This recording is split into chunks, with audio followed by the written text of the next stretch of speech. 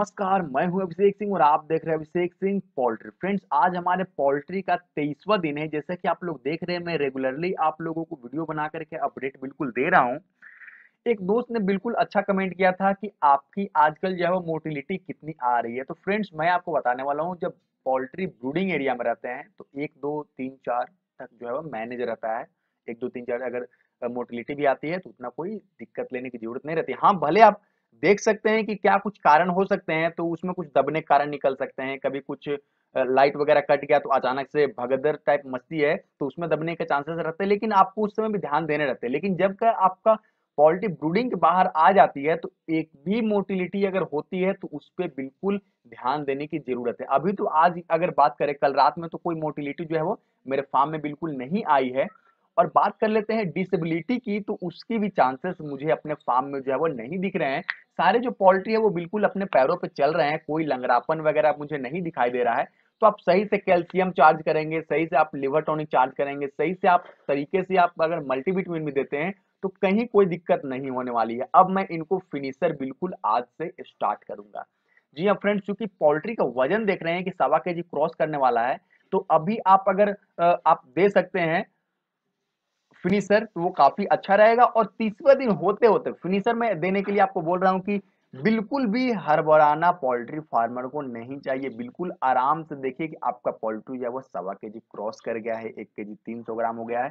तभी आपको फिनिशर बिल्कुल चलाना है। उससे पहले अगर चला दीजिएगा तो आपका पोल्ट्री उसको पचा नहीं पाएगा, फिर आपको दिक्कत आने लगेगा और आप बोलेंगे कि पोल्ट्री का बीट जो है वो सही से नहीं आ रहा बीट में दाना आ रहा है। ये सब चीज़ें आप लोगों को बिल्कुल ध्यान देना होगा कि पोल्ट्री हमारा कितना वज़न है और कितना उसको दवा पानी क्या कुछ देना है, उसके अकॉर्डिंग आपको एडजस्ट करना होगा। दिन आपको काउंट नहीं करने हैं।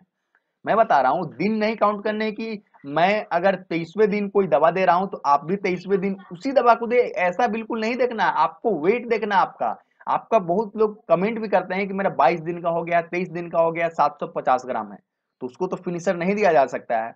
ठीक है तो आप रेगुलर अगर रहेंगे तो छोटी छोटी जो बातें हैं, उसको आप सीखेंगे और पोल्ट्री फ़ार्मिंग में वही चीज़ जो है, वो बहुत बड़ा अफेक्ट डालता है। अगर बात कर ले दवा की तो मैंने इनको सुबह में जो वैमविट दिया है अब आप लोग पूछेंगे वैमविट क्यों? वैमविट में दोस्त विटामिन सी होता है जो कि गर्मी के सीज़न में, अब गर्मी ही इसको बोलेंगे, ठीक है?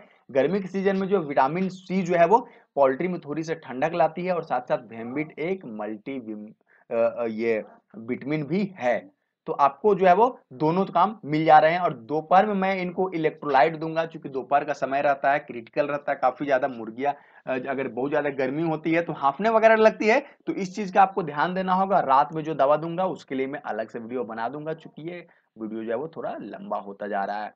दिन में और वीडियो आने वाले हैं, चूँकि आज मैं सोच रहा हूँ कि आपके जो कमेंट्स है, उस पर भी बिल्कुल वीडियो बनाया जाए, और आपको टेंशन लेने की बिल्कुल भी ज़रूरत नहीं है। अब तो आप मुझसे डायरेक्ट फ़ोन पे भी बात कर सकते हैं। आप हमारे चैनल को अगर ज्वाइन किए हैं, मेरे मेंबर हैं तो आप कभी भी, चौबीसों घंटा में कभी भी, जब भी आप मेरी ज़रूरत पड़ती है, आप कॉन्टेक्ट कर सकते हैं। आप चाहे नया फार्म खोल रहे हैं या फिर फ़ार्मिंग करते हो, कोई उससे लेना देना नहीं है। आप जो जानकारी चाहिए आपको कंस्ट्रक्शन से लेकर के सेलिंग मार्केटिंग वैक्सीनेशन तक कुछ भी आप बिल्कुल पूछ सकते हैं और अपना जवाब जो है वो रियल टाइम में ले सकते हैं। जब आपको ज़रूरत है तभी आप जो है वो ले सकते हैं। तो फिर मिलते फ्रेंड्स अगले वीडियो में। तब तक ले नमस्कार। जय हिंद।